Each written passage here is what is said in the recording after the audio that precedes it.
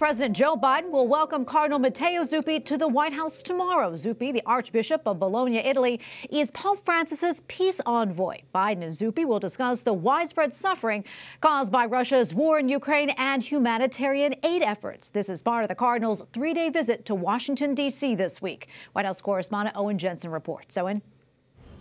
Tracy, Cardinal Matteo Zuppi's visit is today through Wednesday. He's already met with officials in Russia and Ukraine. And now, along with trying to restore peace, reuniting families.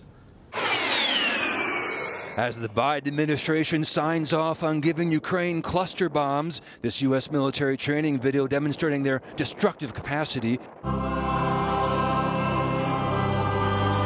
Cardinal Matteo Zuppi, a veteran of the Catholic Church's peace initiatives, seen here celebrating Mass in Moscow last month, has been tasked by Pope Francis to try to find paths of peace between the warring sides. The Holy See saying the visit aims to exchange ideas and views on the current tragic situation and to support humanitarian initiatives to alleviate the suffering of the most affected and most fragile people, especially children.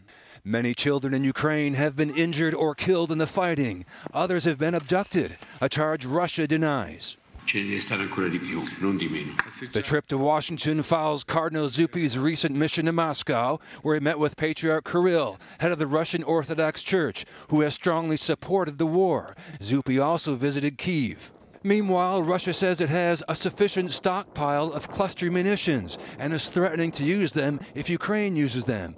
But it's already been widely documented that both sides have used the cluster bombs. U.S. National Security Advisor Jake Sullivan just yesterday saying, the cluster bombs have arrived in country. I don't have a report for you today as to whether they have actually been deployed at this point, but if they have not yet, they will be in the coming hours or days uh, because they have now very rapidly been uh, shipped into the fight. The U.S. Conference of Catholic Bishops imploring the weapons not be used, writing over 100 countries, including the Holy See, have signed the 2010 Convention on Cluster Munitions banning their use, recognizing their indiscriminate nature and risk to civilian populations long after fighting has ceased.